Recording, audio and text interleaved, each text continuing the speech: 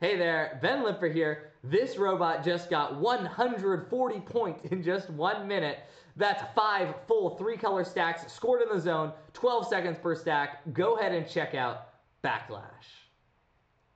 Now, if you're looking at this robot and you're thinking, hey, maybe that's a robot I'm interested in building, there's a link underneath this video. Go ahead and click it.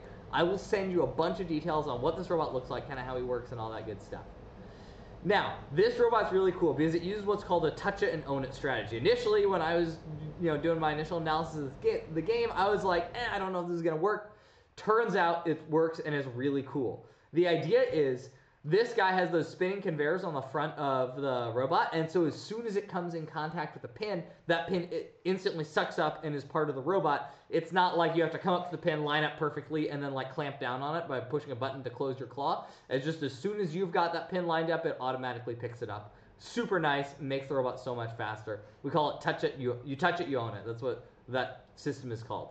So like I said before, if you're interested in this robot and you're thinking, hey, maybe that's something I'm interested in building, there's a link underneath this video. Go ahead and click it. I'll send you all the details on how this guy's built.